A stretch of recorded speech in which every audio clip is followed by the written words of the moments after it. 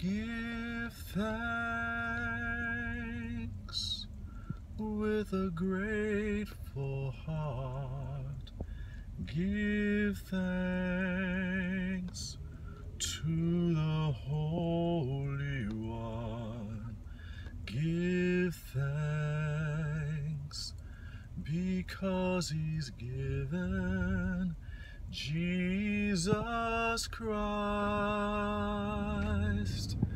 His Son. And now let the weak say, I am strong.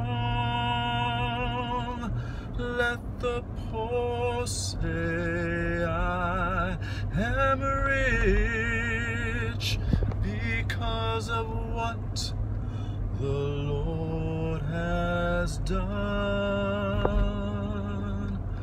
for us. Give thanks.